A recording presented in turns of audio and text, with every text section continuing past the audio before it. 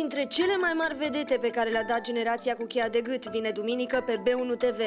Andreea Marin Bănică, născută la Roman în 1974. Cu toate neajunsurile unei copilării, începând cu uh, coada și cu bătaia pentru a ajunge să ai o portocală, uh, până la lipsa unor libertăți pe care astăzi le avem și nu știm să le apreciem. Și totuși copilăria mea a fost minunată. Astăzi o femeie de mare succes, potrivit oricăror standarde.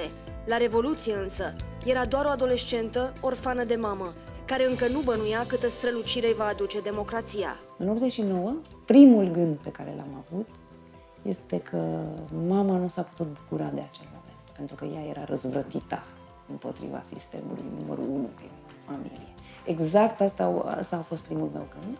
Sunt Sanda Nicola și vă aștept duminică la ora 12 la o nouă ediție a emisiunii Generația cu cheia de gât.